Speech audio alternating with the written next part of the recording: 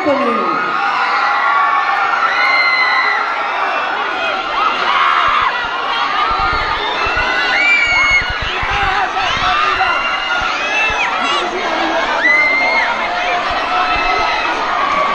again, the ICA Dance Troupe, the ICP Alliance, and the ICI Dance Company.